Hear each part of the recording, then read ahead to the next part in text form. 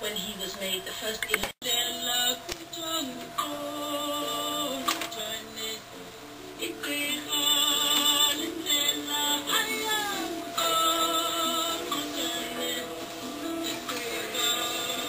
And to hear 10 of the best songs from Africa released this year, go to nprmusic.org.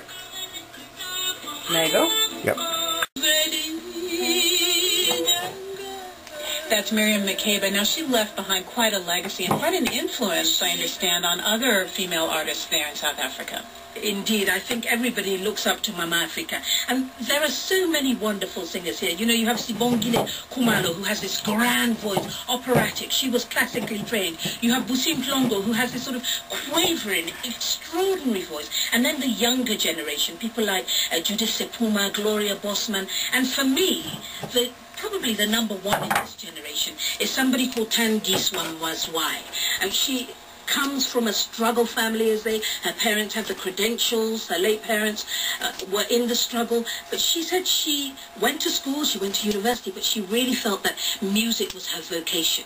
And they've sung all sorts. South African rap, if I can call it that, it's called Kwaito. She started off as a Kwaito artist, but now she's moved on and sort of discovered herself, and she has a tremendous, wonderful voice. Take a listen.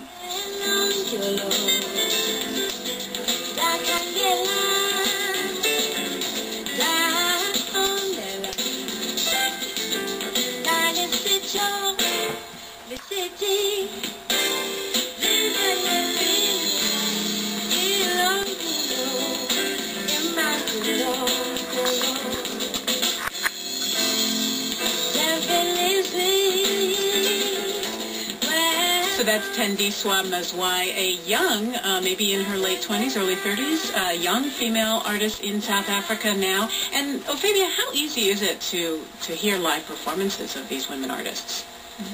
It, is easy. South Africans love music. They love to dance. They love to sing. They love to perform. And you know, because everybody seems to be able to sing so well here, as the performers, as the artists are singing, everybody sings along with them and they all sing in tune. It's extraordinary. But you have festivals, you have uh, concerts, you have a lot of performances at nightclubs and other clubs. So music is really alive here. You get a lot of complaints from musicians saying, oh, well, we can't live off our earnings and so on. But compared with the rest of Africa, I would say music is booming in South Africa. And the music industry, I believe, is doing pretty well.